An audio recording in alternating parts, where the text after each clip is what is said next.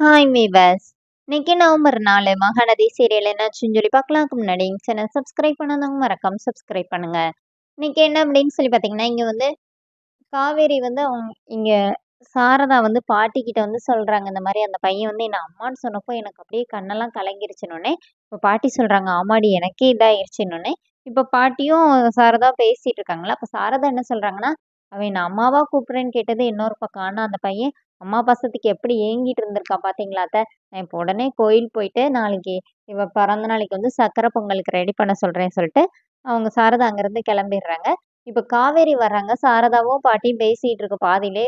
காவேரி வராங்க இப்போ காவேரி வந்தோடனே என்னம்மா பேசிகிட்டு இருந்தார் ரொம்ப நேரம் பேசிகிட்டு இருந்தாருன்னொடனே நான் வந்து சொல்கிறேன் சொல்லிட்டு சாரதா கிளம்பி போயிடுறாங்க.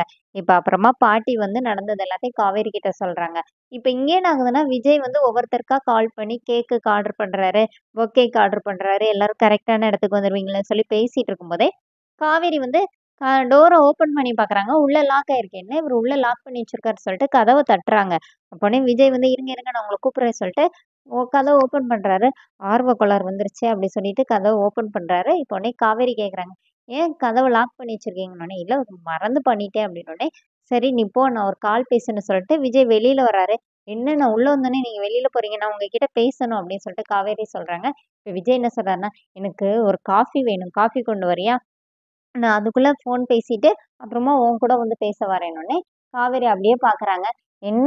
காஃபின்னொடனே இருங்க ஃபைவ் மினிட்ஸ்னொடனே ஃபைவ் மினிட்ஸில் காஃபி ரெடி ஆயிருமா? அப்போ என்ன பண்ணுறது எனக்கு ரொம்ப பசிக்குதே ஐயோ பசிக்குதே எதுனாச்சும் டிஃப்ரெண்ட்டாக பொறுமையாக செஞ்சு எடுத்துகிட்டு வரியானோடனே பொறுமையாக அப்போ பசிக்குதுன்னு சொன்னீங்க அப்படின்னோடனே இல்லை இல்லை எனக்கு பசிக்குது தான். ஆனால் கொஞ்சம் எதனாச்சும் செஞ்சு எடுத்துகிட்டு வாயேன்னொடனே என்ன நீங்கள் இப்படி மாற்றி மாற்றி சொல்லி உளறிட்டே இருக்கீங்கன்னொடனே அப்புறமா காவேரி வந்து நீ டிஃபன் தானே செய்ய போகிற அப்படின்னு விஜய் கேட்குறாரு ஆமான்னு சொல்லிட்டு கீழே இறங்கி போயிடுறாங்க.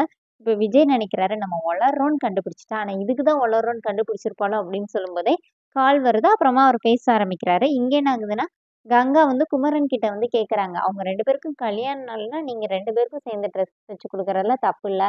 ஆனால் பிறந்த நாளைக்கே இந்த மாதிரி பண்ணி கொடுக்குறீங்கன்னொடனே அவங்க ரெண்டு பேரும் வேற வேற இல்லை ஒன்று தான் அப்படின்னு சொல்லிட்டு நம்ம தெரியப்படுத்தணும்ல அதுக்காண்டி தான் அப்படின்னு சொன்னோடனே இப்போ க கங்கை என்ன சொல்கிறாங்கன்னா காவேரிக்கு நீங்கள் ட்ரெஸ் தைச்சிருக்கீங்க உங்களுக்கு அளவு தெரியும் விஜய்க்கு எப்படி தெரியணுன்னே டெய்லி அவரை கண்ணிலே பார்க்குறேன்னா ஒரு டெய்லருக்கு அது கூடவா தெரியாதுன்னு சொல்லிட்டு இவங்க ரெண்டு பேரும் பேசிகிட்டு இருக்காங்க.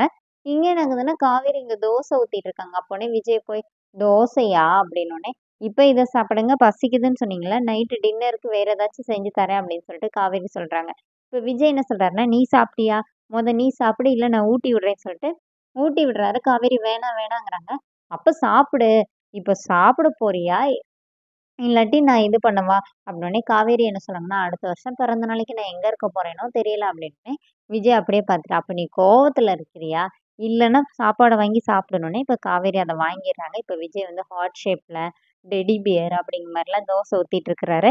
இங்கே ராகினி வராங்க. இங்கே ஏதோ கரீர வாசனை அடிக்குது சொல்லிட்டு ரெண்டு பேருமா சேர்ந்து ராகினி ஓட்டு ஓட்டுன்னு ஓட்டி ராகினி கடைசியில் சாரி சொல்லிட்டு போகிற அளவுக்கு ஓட்டி விட்டுறாங்க ரெண்டு பேருமா.